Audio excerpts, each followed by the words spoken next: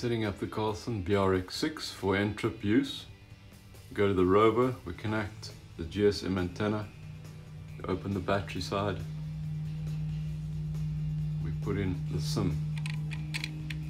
On the left hand side there is a slot, push it in till it clicks.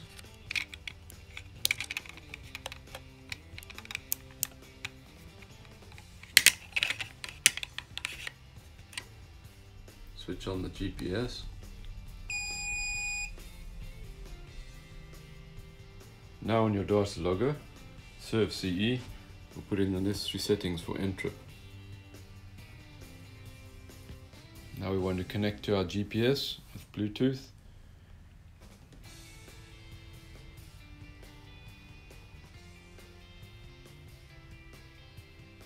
We'll go to comms, which we've done already. Bluetooth, we've already recognized the device and paired it. So we'll go straight to RTK. We'll select in the drop down menu internal GSM because we've put the SIM card in the head. If we were using the SIM in the data collector, we would select data collector internal. Leave it on that. That button.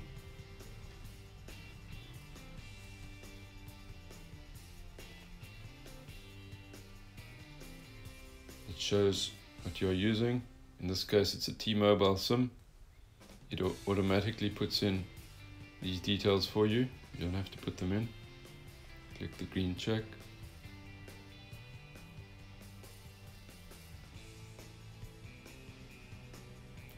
And now on this menu, we select NTRIP for reference network. In this screen, we'll call it by the name that you wish. Put any name you want to put in there. We call it North Carolina Genesis Network. Next. Over here, you put the IP address, which you get from North Carolina Department. Put in the port, which they give you, your username, and your password. Just bear in mind your username and password are case sensitive. Once those are in, you double check them, click the green check.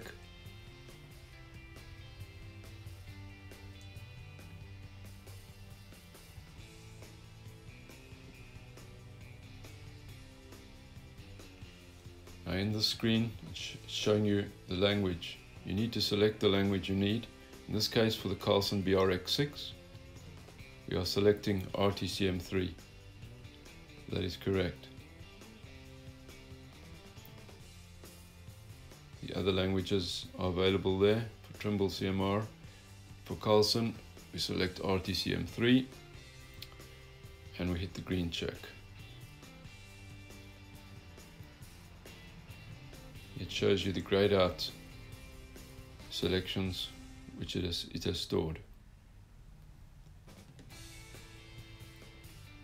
Once this is done, you can check that it's displaying the correct message type when everything is looking correct, press the green check.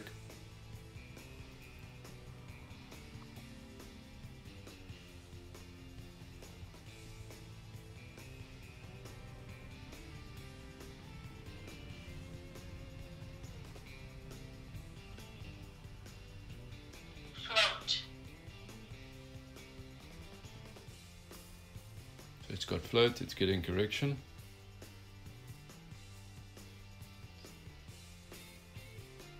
Setup is successful.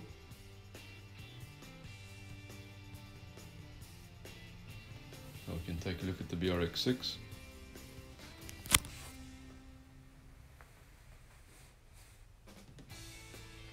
Green light is flashing for network connection.